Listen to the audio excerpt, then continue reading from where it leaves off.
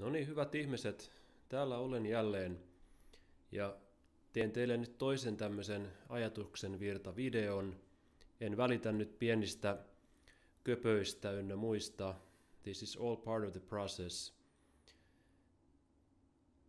Sen verran kuitenkin teen, että hiukan muutan kameran positiota. Um, mä jäin miettimään sitä mun viime videota ja, ja katsotaan millaisia asinsiltoja mä nyt tässä saan synnytettyäkin, että, mutta ajatelkaa tämä tämmöisenä eräänlaisena politiikkaradiona, joskin toivon, että mieluummin kuuntelette minua kuin, kuin Ylen kanavia aina joka päivä. mun viime videossahan myönnän, että tein semmoisen hiukan klikkimäisen otsikon siihen kysyin koronapandemiasta ja tokihan se jäi minua vähän, vähän sitten pohdituttamaan, vaikka en tiedä kuinka moni sen video lopulta katsookaan, mutta koen silti tarpeelliseksi nyt vähän selventää, että koronapandemia nyt ei tietenkään ole oikein millään tavalla mikään leikin asia, eikä mielestäni mikään semmoisen älyllisen kikkailun tai älyllistämisen kohde – mutta mä luulen, että on se kuitenkin aihe, mistä on hyvä puhua myös psykologisesti. Ja sitähän mä siinä lähdin vähän viimeksi, viime videolla tekemään. Mutta jotta nämä nyt olisivat tavallaan standalone videoita, niin äh, selvennetään nyt hiukan, että missä mennään nyt korona-ajatteluni kanssa. Ähm, Koronahan on siis tietysti ensi, ensisijaisesti terveystieteellinen tai lääketieteellinen kriisi, ja, ja pandemia tietysti on, on hyvin todellinen, ja ähm, ei siitä kahta sanaa.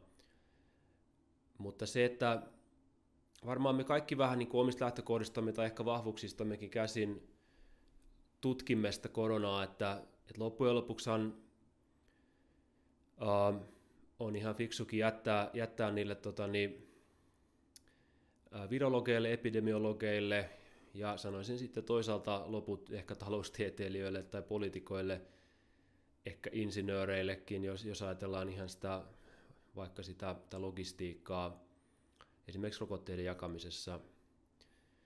No mutta entäs me muut sitten, jotka emme, emme putoa suoraan noihin kategorioihin, jääkö meidän tehtäväksemme sitten – vaan passiivisena istua ja odottaa, että rokote tulee taivaasta ja pelastaa meidät.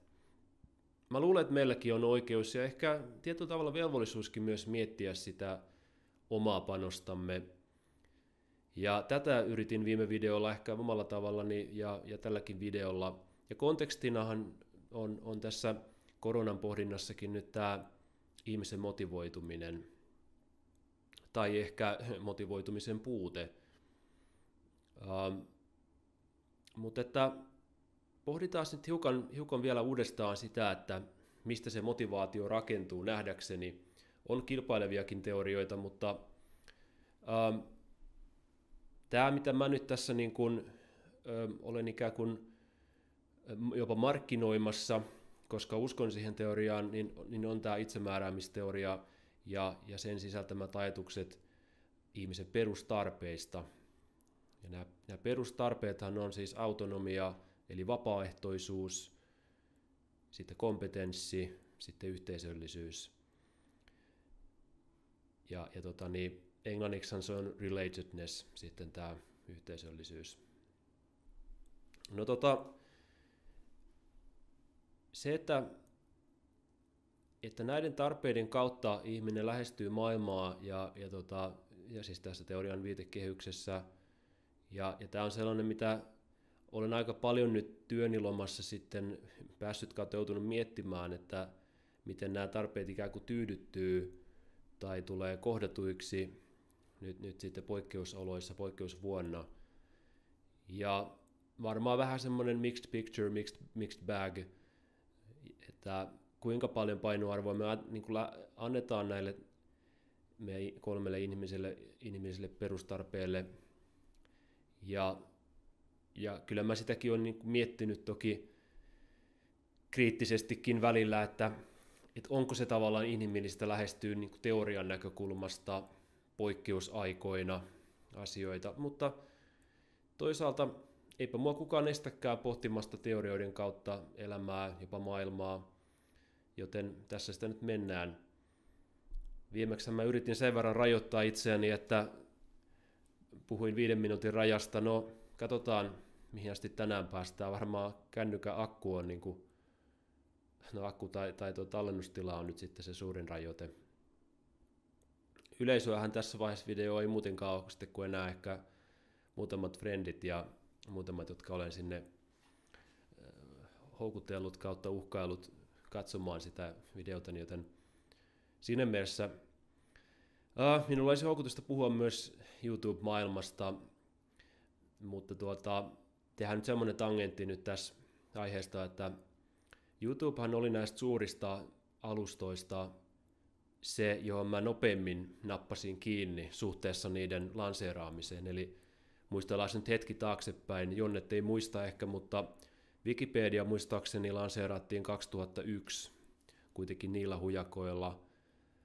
2006 aloin niin todenteolla Wikipediaa käyttää, saattoi olla 2005 jo. Kiitos vielä entiselle kämpikselle niin muuten siitä, jos Kaimani ku, kuuntelet tätä joskus, niin, niin tota, kiitos edelleen, että tutustutit Wikipediaan. Facebook, pahasti niin, mutta toisaalta puolustuksekseni hyvin moni suomalainen siinä samassa valtavassa aallossa aikanaan liittyi Facebookiin, eli 2007. Öö, kuinkahan kauan oli kulunut siitä, että herra Zuckerberg oli starttailu varhaista 2000-lukuista, eli ennen kuitenkin ollut. Mutta YouTube, käsittääkseni 2005 lanseerattiin, ja nyt, nyt en ole ihan varma, kuulinko Todennäköisesti en kuulu vielä silloin siitä, mutta 2006 kuulin ja hyvin pian nappasin kiinni oikeastaan niin kuin sen jälkeen, kun ekan kerran kuulin koko alustasta. Joten mulla on sitä historiaa. 2006 myös perustin tilin YouTubeen. Sillä siihen maailman aikaahan YouTube ei, ei muuten tietääkseni kuulunut Googlelle, ei todennäköisesti kuulunutkaan. Jotenka siinä oli aikaa ikään kuin totuttautua. Mutta sitten ensimmäiset omat sisältöni tuotin YouTubeen siis noin kuutisen vuotta sitten.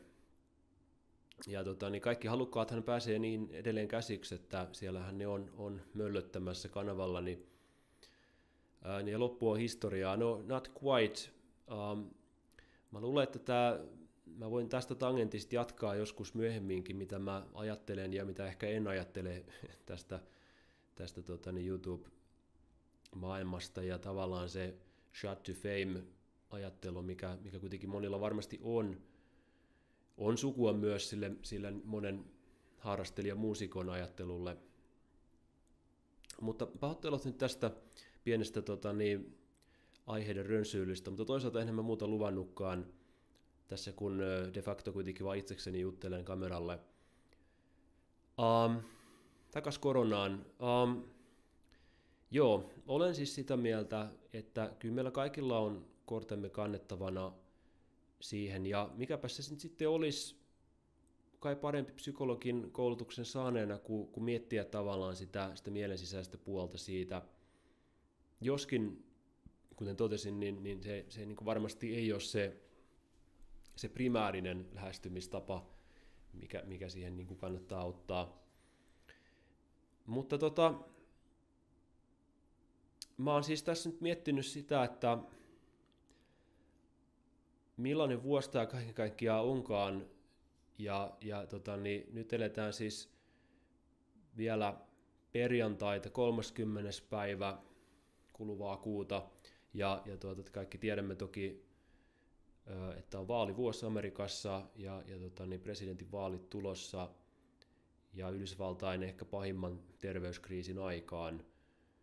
Uh, Mutta tässä oikeastaan heti, heti lähtee se niin mieli rönsyilemään mielessäni siihen, että mikä pointti siinä tavallaan on, tämä oli ehkä vähän tuima kysymys, mutta laskea terveyskriisiä nimenomaan kuolonuhrien perusteella.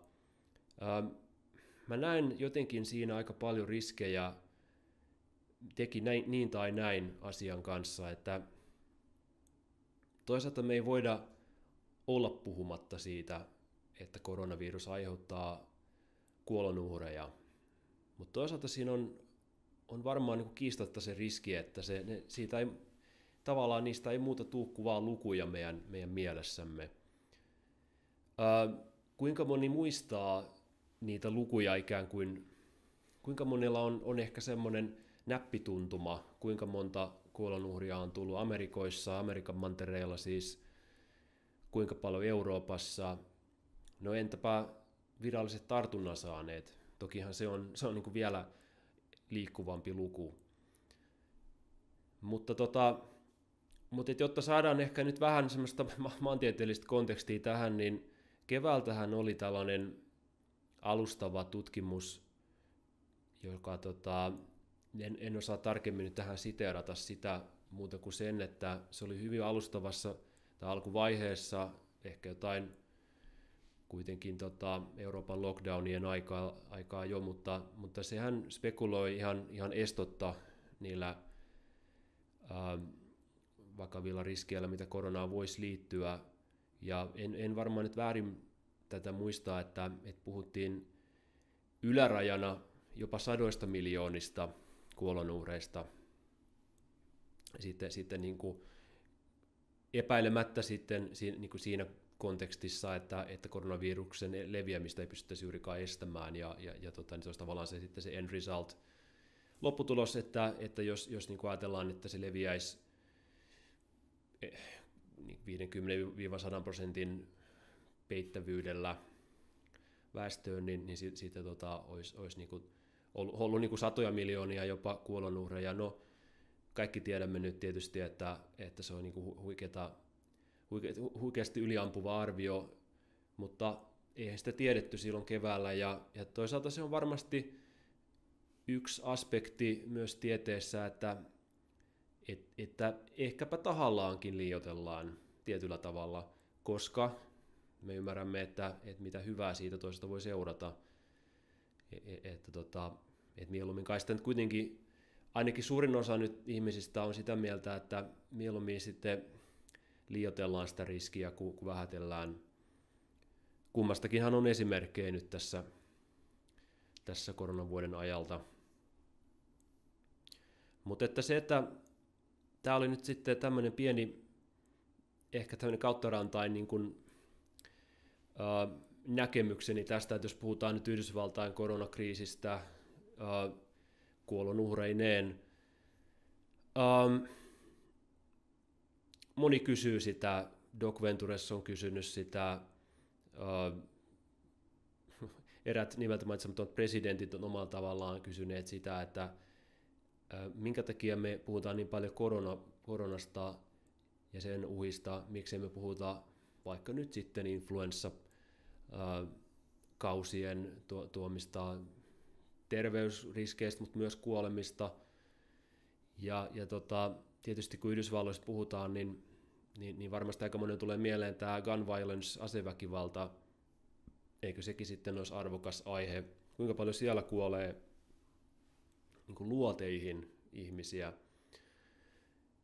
Ja, tota, niin, ja sitten tietysti se koko iso kuva, että entäpä kaikki muut taudit, muut sairaudet, syövät, sydän- verisuonisairaudet.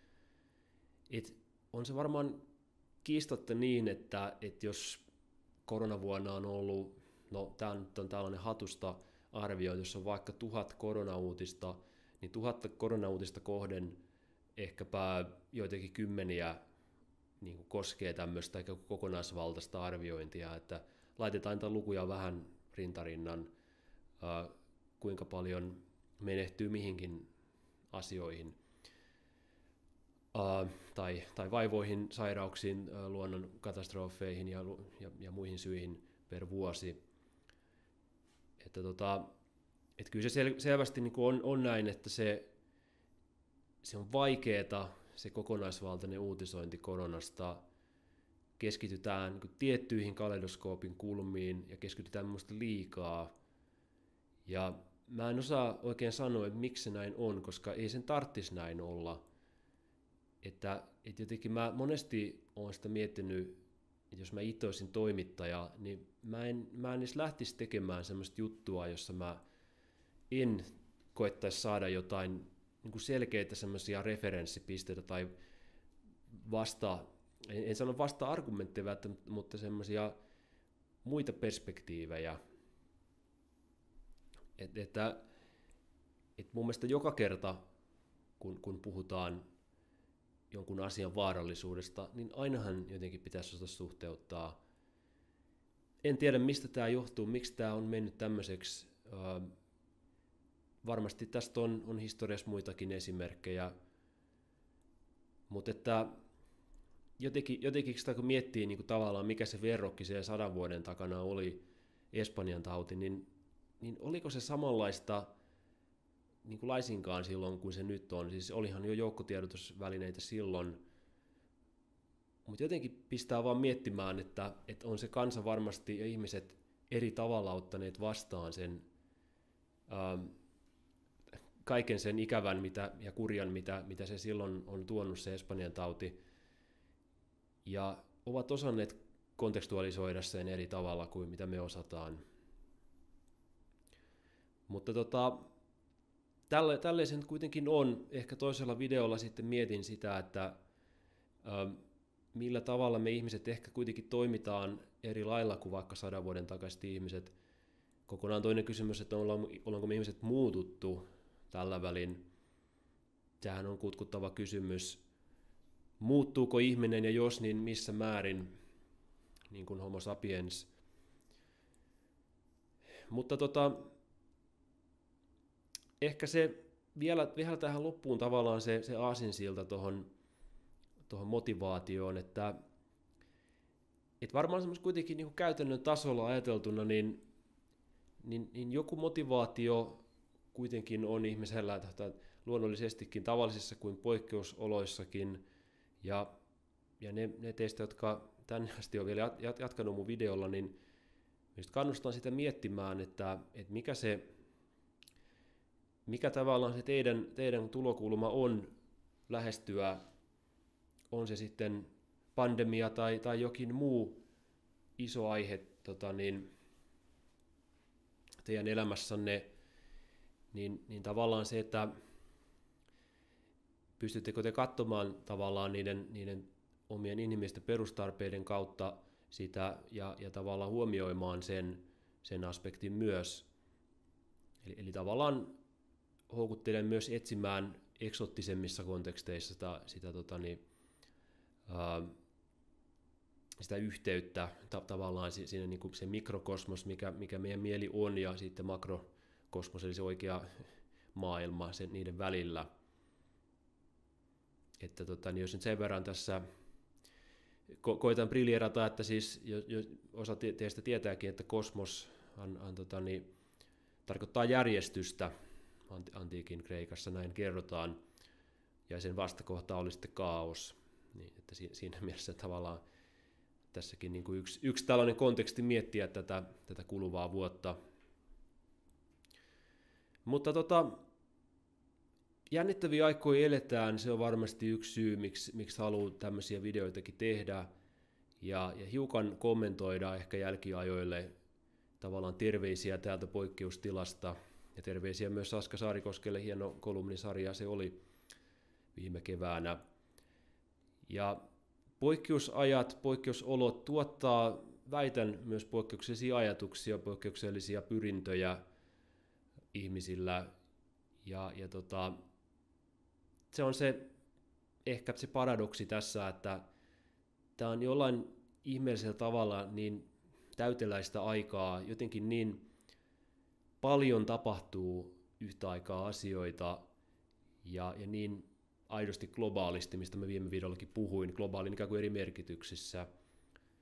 Ja, ja mä nyt pinnistelen, että sanonko se ääneen, mutta sanon nyt, kun koitan rehellinen olla, että jännittävää aikaa myös mutta myös hyvin rankkaa aikaa. Tätä ei varmaan tarvitse sen kummemmin perustella, mutta se, kun mainitsin sen Espanjan taudin tuossa, niin mun mielestä yksi positiivinen seuraus koronapandemiasta on se jotenkin sellainen hämmentävä, hämmentävä, hämmentävä sympatia, mitä mä koen sinne sadan vuoden takaisiin ihmisiin heitä kohtaan. Koska mä luulen, että me kaikki nyt tämän vuoden jälkeen aika eri tavalla katsotaan. Se on, se on mun mielestä jännä niin kuin historiallinen silta, historiallis-psykologinen silta, mikä on nyt rakentunut meidän, meidän ajan ja heidän ajan väliin, tai välille tarkoitan. Ja tämä on vain yksi niistä lukuisista lukuisista asioista, mitkä, mitkä on niin varmasti yllättänyt itse kunkin, että tietysti riippuu, että kuinka historiallinen ihminen on, mutta, mutta että ajattelisin, että, että monella on, on tämä jännä havainto.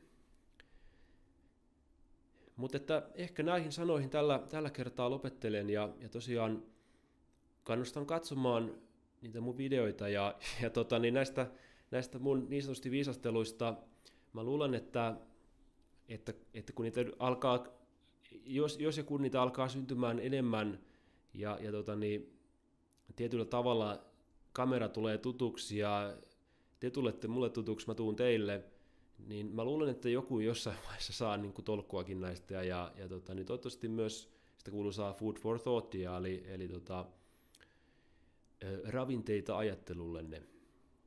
Mutta tältä osalta sanon, että over and out ja näkemisiin. Kiitos, hei.